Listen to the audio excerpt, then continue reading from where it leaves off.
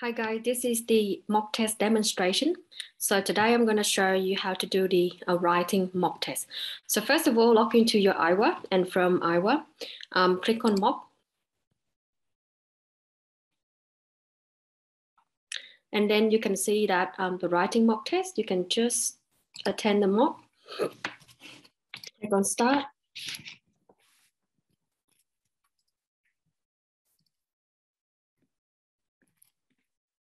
50% of the world's population is vitamin D deficient.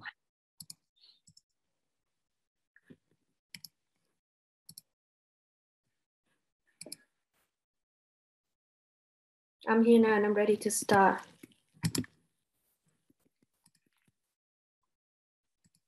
I'm here now and I'm ready to start.